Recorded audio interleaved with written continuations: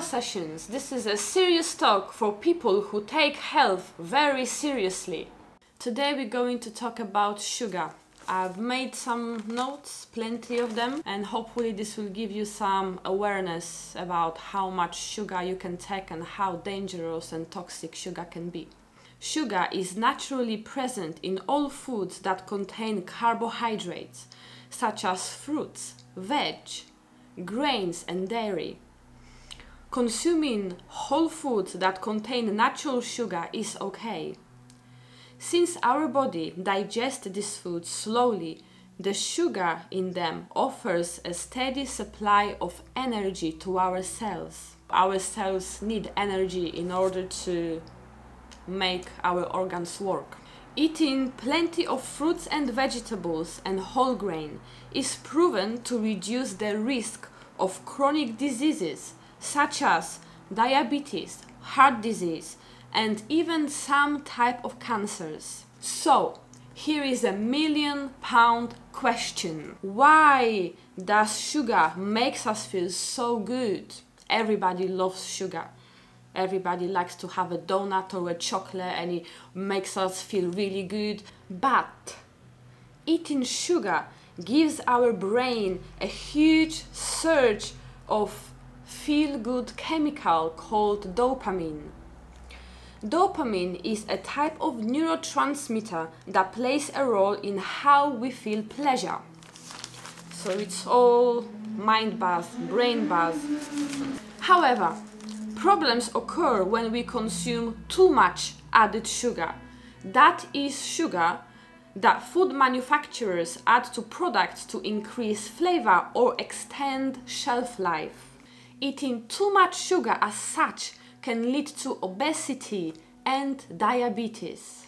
Now, let me share with you an interesting study I found. Published in 2014 in JAMA Internal Medicine, Dr. Hu and his colleagues found an association between a high sugar diet and a greater risk of dying from heart disease.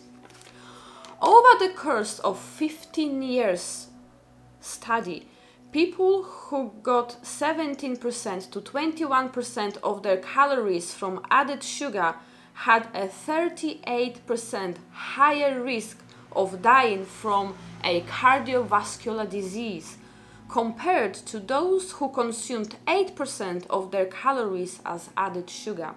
If you consume too much sugar, you will sooner or later get a heart disease. And I'm sorry to be straight, but this is true. It's a fact. So, consuming too much added sugar can also raise blood pressure and increase chronic inflammation, both of which are pathological pathways to heart disease. So you can see from studies, from, from scientific evidence, how sugar in large quantities, it's so bad for our heart, especially the whole cardiovascular system. It's absolutely unbelievable. Again, another fact is excess consumption of sugar, especially in sugar beverages, also contributes to weight gain naturally. Eating lots of sweets has been shown to worsen joint pain because of the inflammation they cause in the body. So this is another thing. Uh, sugar is increasing inflammation in our body and we all know or at least majority of people know that inflammation is the cause of many diseases. So now, let me share with you the best ways to monitor your sugar intake by looking at the labels very important to look at the labels so you know what you're buying and you know every single ingredient. This is super important. And also, not just for sugar, but for example, you might buy food or cosmetics that contain aluminium. Aluminium is associated with neuro disease, for example, can be a cause of Alzheimer. So that's just another tip to look at for. So going back to the sugar, look for the following names corn sweetener, corn syrup, fruit juice concentrate, high fructose corn syrup, invert sugar, and malt sugar. And very recently, I have been studying nervous system, which is part of my biomedical studies, and I came across aspartame. And I'd like to read you a slide from my course, which I found very interesting and, and actually quite mind blowing as well. Aspartame is a non carbohydrate artificial sweetener, 200 times sweeter than sugar, used in approximately 6,000 foods and drinks. Aspartame has been the subject of much controversy. Its toxic side effects are well documented. It has also been shown not to help with weight loss, but cause weight gain. There you go.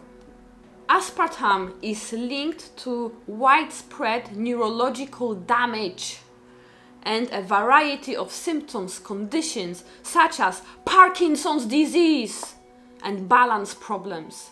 Can you see that? It can actually cause Parkinson's disease because it's a neurotoxin. Crazy. It's crazy. It's a poison. Now, here is a question. So, how much sugar can we eat? Because we know sugar is toxic in large quantities, but like with everything, we need to maintain balance. So, if you eat sugar in in a balanced proportion, it's not so bad, but you just need to know how much you can eat.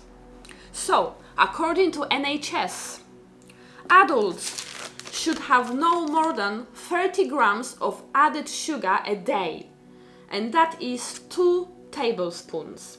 Actually, I wanted to bring to your attention that one small bottle of Coca Cola contains 44 grams of sugar. This is 14 grams above the NHS recommendation.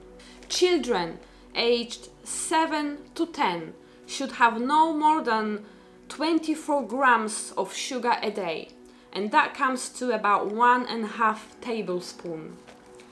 And children aged 4 to 6 should have no more than 19 grams of sugar a day, and this is roughly about one tablespoon of sugar.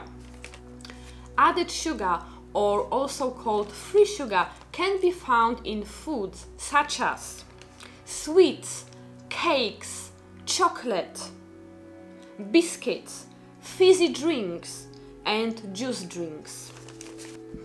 At home, we have learned to enjoy a wide range of flavors that nature has to offer. We enjoy a variety of herbal teas, which gives a variety of sensations to our tongue. Hence, we can definitely say that sugar has a numb note and a very monotone flavor. So, knowing all this, why would you consume so much sugar?